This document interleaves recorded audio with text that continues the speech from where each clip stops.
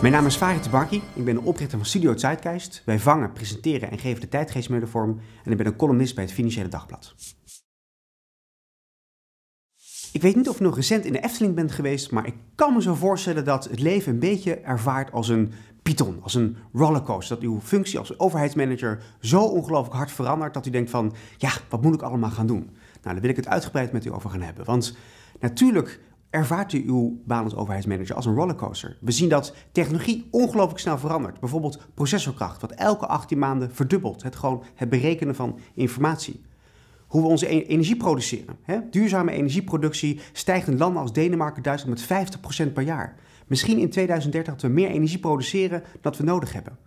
En wat dacht u van de menselijk uh, lichaam en de kennis die we hebben over het menselijk lichaam? Hè, ons DNA weet, hebben we helemaal uitgeplozen en misschien kunnen we wel voorkomen over tien jaar dat we überhaupt nog ziek worden. Het leven is een rollercoaster en ja, onze functies binnen de overheid veranderen ongelooflijk snel. Want in elke sector zien we de impact van die technologie. Hè, als we nadenken over de maakindustrie, hoe we vroeger ja, steeds verder onze producten brachten om ze daar te kunnen maken. En tegenwoordig gaat het allemaal weer terug en kunnen we via 3D-printen onze eigen producten maken. We kunnen het beste onderwijs waar dan ook de wereld volgen op dit moment, dankzij massive open online courses. We zijn allemaal financierder geworden van goede ideeën, van culturele projecten of misschien wel zelfs verzekeringsachtige producten. We zijn hotelier geworden. Als u in de stad als Amsterdam woont, waar heel veel toeristen op afkomen, is uw appartement een potentiële hotel geworden als u het aanbiedt op een platform als Airbnb. En natuurlijk zijn we allemaal ook energieproducenten geworden. U heeft een zonnepaneel op uw dak, u investeert in windenergie en daarmee is elk individu eigenlijk een energieproducent geworden. De wereld staat letterlijk op zijn kop, want het individu, dat is nu aan zet. Straks in het videocollege ga ik het met u hebben over de wereld, hoe de wereld transparanter wordt. Hoe grenzen vervagen, wat dat betekent voor het midden en nieuwe organiserende principes van die vloeibare samenleving.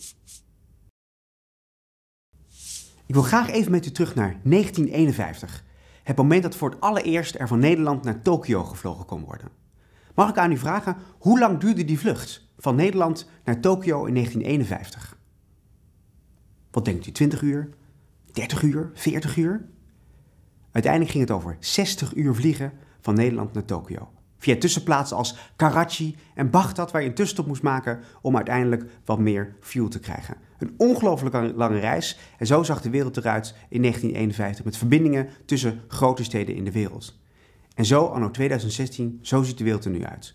Ongelooflijk veel plekken in de wereld zijn nu fysiek met elkaar verbonden dankzij al die vliegbewegingen die de afgelopen decennia zijn ontstaan. Maar dat is maar natuurlijk het halve verhaal. Niet alleen fysiek zijn we verbonden, ook virtueel hebben we nu grote netwerken die maken dat mensen individueel met elkaar verbonden zijn. 1,2 miljard mensen om precies te zijn. Is een prachtige website met 1,2 miljard pixels. En als u genoeg tijd heeft, dan kunt u 1,2 miljard keer klikken en heeft u 1,2 miljard vrienden. Of partners waar u mee kunt samenwerken of netwerken die u kunt vormen. Een ongelofelijke manier van een verbonden wereld, zeker vergeleken met 65 jaar geleden, die lange afstand tussen Nederland en Tokio. Maar diezelfde netwerken geven ons ook een stem. We hebben een stem gekregen in het maatschappelijk debat. En die kunnen ja, politieagenten gebruiken, zoals Wilco in Rotterdam, hè, die Twitter gebruikt om direct contact te maken met, met zijn burgers in zijn eigen wijk. Maar we zijn ook allemaal expert geworden. We delen al die informatie via al die netwerken. En pure experts hebben we niet meer nodig, want wij zijn allemaal met z'n allen die experts geworden. The wisdom of the crowds. En die technologie maakt ook dat we transparant geworden zijn. We weten veel over menselijk lichaam, kunnen we ziektes voorkomen. Maar ja, we zijn ook transparant geworden in de ja, bijna virtuele manier van dat we alles van elkaar weten. De afgelopen maanden ongelooflijk veel informatie over ja, mensen die iets met geld aan het doen zijn en misschien wel op een verkeerde manier. Dat weten we allemaal tegenwoordig. Dus die piramide van ons is niet alleen op zijn kop gezet, onze wereld is ook transparant gemaakt. Wat betekent dat nu als een piramide op zijn kop wordt gezet en ook nog een keer transparant wordt? Ik kan me zo voorstellen dat de ontwikkelingen die net geschetst zijn eigenlijk worden ervaren als een perfect storm. Er komt nu zoveel tegelijkertijd op ons af. Ja, het loopt dit wel goed af. Kunnen we wel door deze storm varen? Nou, ik ben daar positief over gestemd. Laten we eens kijken wat er eigenlijk fundamenteel aan de hand is. Want wat we zien is dat die twee ontwikkelingen, die decentralisering en die transparantie, eigenlijk voor heel veel warmte in het bestaande systeem zorgt. En ons bestaande systeem, die prachtige piramide, de afgelopen duizend jaren opgebouwd. En we zitten er warmpjes bij, dus niks mis mee. Maar er komt nog meer warmte bij, door al die technologie. En die warmte maakt eigenlijk dat die piramide van ons, die op zijn kop gezet is, die transparant gemaakt is, eigenlijk een piramide van ijs blijkt te zijn. En wat gebeurt er met ijs als het nog warmer wordt? Ja, dan smelt ijs. En dat is precies met onze samenleving aan de hand. Onze structuren, onze grenzen, hoe we tot nu toe ons economisch model hebben opgebouwd, ja, dat is aan het veranderen. Dat wordt uiteindelijk vloeibaar. We gaan toe naar een vloeibare samenleving. En de Pools-Britse filosoof Sigmund Bauman heeft daar prachtige boeken over geschreven begin jaren 90. Hij had het over de liquid modernity, de, de vloeibare moderniteit. En er zijn twee regels in zijn boek die volgens mij heel herkenbaar zijn anno 2016. Namelijk, verandering is het enige zekere wat we gaan krijgen. En uiteindelijk gaan we naar onzekerheid als de enige vorm van zekerheid. Dat zijn twee regels die volgens mij heel herkenbaar zijn voor hoe we nu als overheidsmanagers al die uitdagingen proberen te tackelen. Nou, een van de vragen rond die vloeibare samenleving is volgens mij: is er nog een midden in een vloeibare samenleving? Want in die piramide heb je een bovenkant en een onderkant, dus ja, ook een logisch midden. Maar is er nog een midden in, een samenleving waarin al die verbindingen ja, met elkaar zomaar aan kunnen gaan en daar geen hiërarchie, meer zit in die verbindingen?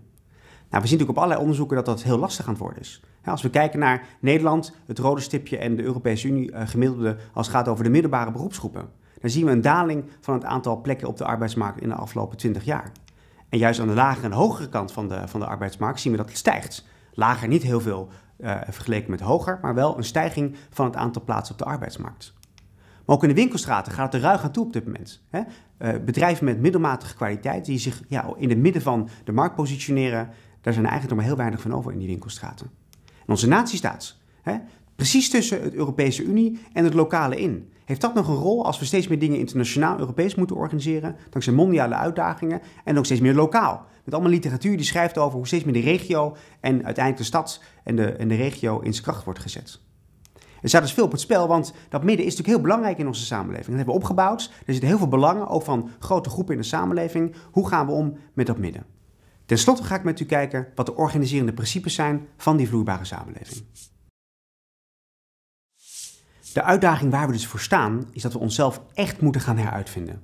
Die samenleving gaat er zo anders uitzien, onze economie, onze politiek, onze maatschappelijke uh, organisaties, dat we echt moeten gaan afvragen, wat betekent dat voor die samenleving? Wil graag drie organiserende principes met u delen die gaan over die vloeibare samenleving.